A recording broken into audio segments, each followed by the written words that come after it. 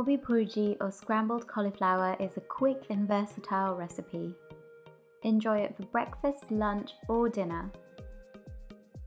Grab the link to the full recipe in the description box below. Start by melting ghee or vegan butter in a large pan.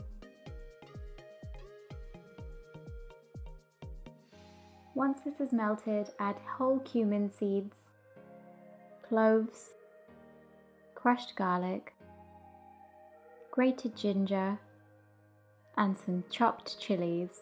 Add as many chilies as you dare. Saute these aromatics briefly.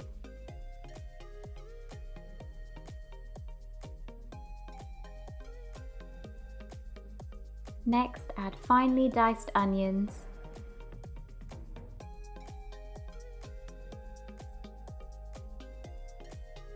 and some juicy diced tomatoes.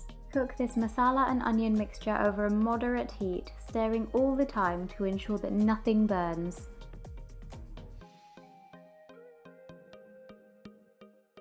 After about 4 minutes the mixture will have softened. It's now time to add our dry spices. Add some ground turmeric, ground cinnamon, ground fennel seeds, kasuri methi, ground coriander seeds, and black salt, also known as kala namak, for the sulphurous whack of flavour you'd expect from eggs.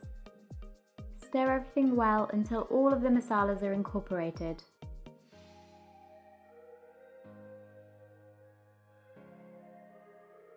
Next, add a mountain of grated cauliflower. This is going to create our scrambled egg look and feel. For the cauliflower, all I did was grate it using a box grater. There's no need to squeeze out any of the water prior to adding it to the pan.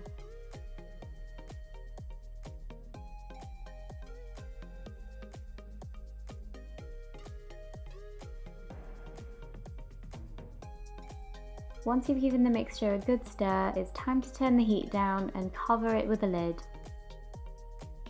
Allow the gobi bhurji to cook gently in the steam for about 10 minutes.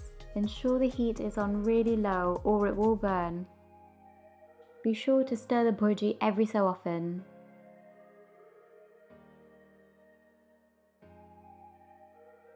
Once the cauliflower is tender and scramble-like in texture, it's time to serve. Garnish with diced tomatoes and fresh coriander. Serve this delicious spicy scramble with plain white buttered toast or fluffy buns. I'm hooked on having this for breakfast. If you like this recipe and need more masala goodness in your life, please hit like on this video and subscribe to my channel.